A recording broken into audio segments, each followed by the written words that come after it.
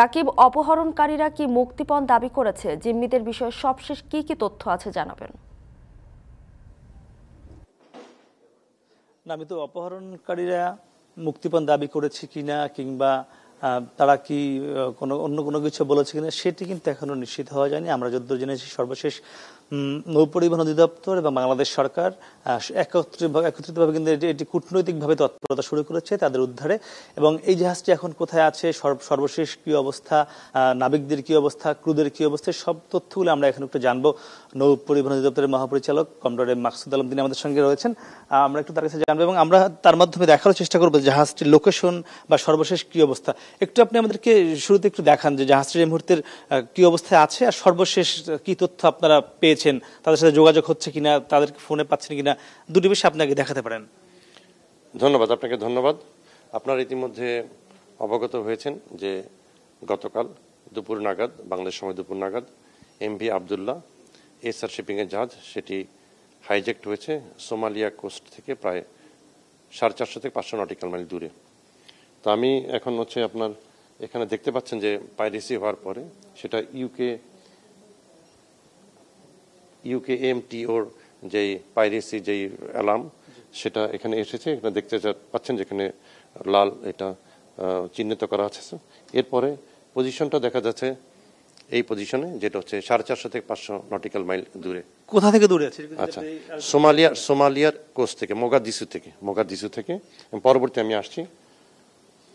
এই পজিশনটা হচ্ছে যে পজিশনটা আমরা বললাম যে প্রথমে এটা ছিল। পরবর্তীতে দেখছেন যেটা ইন সার্কেল করা আছে পজিশনটা এটা হচ্ছে টোটাল সি এরিয়া এখান থেকে সোমালিয়া যে মোগাদিসু দেখা যাচ্ছে। হুম মোগাদিসু পাশে। এখানে পজিশনটা দেখা যাচ্ছে গতকাল সন্ধ্যা সাতটা সাঁত্রিশে পজিশন জাহাজের পজিশনটা এখানে দেখা যাচ্ছে, এই যে এই জায়গাটা পজিশন হ্যাঁ? এটা এটা উত্তর দিকে যাচ্ছে, যা উত্তর পশ্চিম দিকে যাচ্ছে। এবং এটা আজকে সকালে আজকে সকালে শূন্য চার দুই আট সকালে শূন্য চার দুই আট ঘটিকা আগে কালকে জাহাজটা ছিল এই জায়গায় ভোর চারটা আঠাশ মিনিটে। এখানে ছিল গতকাল এখান থেকে সোজা উত্তর পশ্চিম দিকে অগ্রসর হয়েছে। কোন দিকে গিয়েছে? সোমালিয়ার দিকে নাকি? সোমালিয়ার দিকে সোমালিয়া কোস্টের দিকে যাচ্ছে জাহাজটি।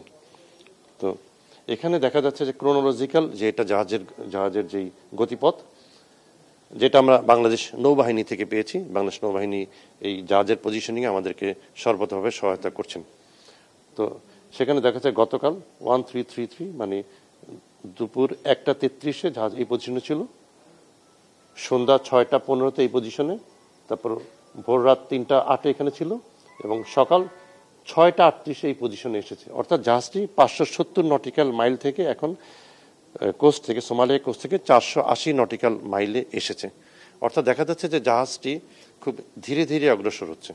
সোমালিয়ার দিকে? সোমালিয়ার দিকে। আচ্ছা আর সর্বশেষ আপনারা কখন কথা বলতে পেরেছেন জাহাজে যারা নাবিক বা ক্রু রয়েছে?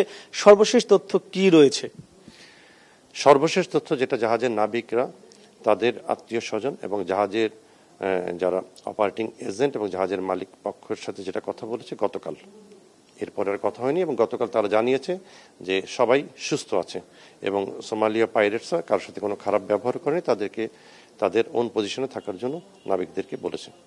কোনো মুক্তিপণের কথা এখন পর্যন্ত বলেছে কিনা? তারা যারা জিম্মি রয়েছে তাদের কাছে কিংবা তারা বাংলাদেশে কারোর সঙ্গে এখনও যোগাযোগ করেছে কিনা জলদস্যুরা? জলদস্যুর পক্ষ থেকে এখনও কোনো কর্তৃপক্ষের সাথে এখনও কোনো যোগাযোগ স্থাপন করা হয়নি। মুক্তিপণের বিষয়ে? না যেহেতু যোগাযোগ স্থাপন করা হয়নি আলটিমেটলি তারা কি মুক্তিপণ বা তারা কোন উদ্দেশ্যে এটা করেছে সেটা এখনও জানা যায়নি। আপনারা তো জাহাজগুলোর কর্তৃপক্ষ আপনারাই মূলত নৌপরিবহন অধিদপ্তর যেহেতু। এখন পরবর্তী ধাপটা আসলে কি হবে বাংলাদেশ সরকারের কূটনৈতিকভাবে বা আপনারা আলাদা কোনো পুরো দুনিয়া জুড়ে কোনো জাহাজের সংগঠন বা কোনো আছে কিনা সমস্যা কি হবে উদ্যোগটা? নৌপরিবহন আহ, মন্ত্রণালয়ের মাননীয় প্রতিমন্ত্রীর নির্দেশনা এবং আমাদের সিনিয়র সচিব মহোদয়ের নির্দেশনায় আমরা বাংলাদেশে যে সমস্ত যত অথরিটি আছে, তাদের সাথে যোগাযোগ করছি এবং তাদের নির্দেশনা অনুযায়ী একদিকে যেন ডিপ্লোম্যাটিক এফোর্ট চলমান রয়েছে, অপরদিকে বাংলাদেশ নৌবাহিনীর বেশ কিছু বেশ কিছু বাইল্যাটারাল ট্রিটি রয়েছে বিভিন্ন দেশের সাথে, সেটাকে ব্যবহার করে আমরা সামগ্রিকভাবে যতগুলো পদ্ধতিতে এই জাহাজ এবং জাহাজের নাবিকদের মুক্ত করা যায়, সেই লক্ষ্যে আমরা এগিয়ে যাচ্ছি। আরেকটি শেষ প্রশ্ন গত মাসে আপনি জানেন যে, গত মাস না ঠিক সম্প্রতি ভারতের একটি জাহাজও ঠিক ওই আশপাশেই আপনি জানেন যে সেটি ওইভাবে জিম্মি করা হয়েছিল, সোমালিরা জলদস্যুরা করেছিল এবং সেখানে ভারত কিন্তু তাদের যুদ্ধ জাহাজ পাঠিয়েছিল এবং মানে ফোর্স তারা তারা নিয়োগ করেছিল আকাশপথে পাঠিয়েছিল। মানে আমাদের অবস্থানটা আসলে কোথায়? বাংলাদেশের অবস্থান হচ্ছে বাংলাদেশ সবসময় রেজলিউশন ইন পিসফুল মিনস এটাতে বিশ্বাস করে এবং এখানে জাহাজের যে নাবিক এবং জাহাজের যেই সেফটি এটা খুব একটা ইম্পর্টেন্ট ইস্যু তো কাজেই এখানে কারা এই জাহাজটি হাইজ্যাক করেছে, তাদের সম্পর্কে, তাদের উদ্দেশ্য সম্পর্কে বৃত্তান্ত না জেনে কোনো ধরনের ফোর্সফুল যে অ্যাকশনে যাওয়াটা সমীচীন নাও হতে পারে। আপনাকে অসংখ্য ধন্যবাদ।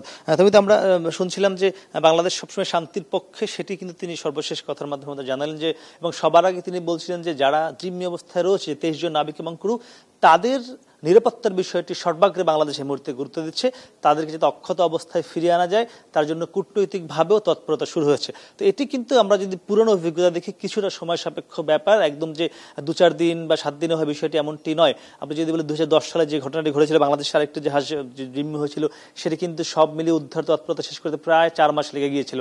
তো এখন দেখা যাক, যেহেতু গতকালকে মাত্র ঘটলো তবে তবে একটি এখানে ভালো দিক রয়েছে যে, যারা জিম্মি অবস্থায় আছেন, তারা সকলেই ভালো আছেন, তাদেরকে কোনো ধরনের মারধর বা অত্যাচার করা হয়নি। সে খবরটি কিন্তু তারা আমাদের জানালেন। তো আমার কাছে এই ছিল সবশেষ।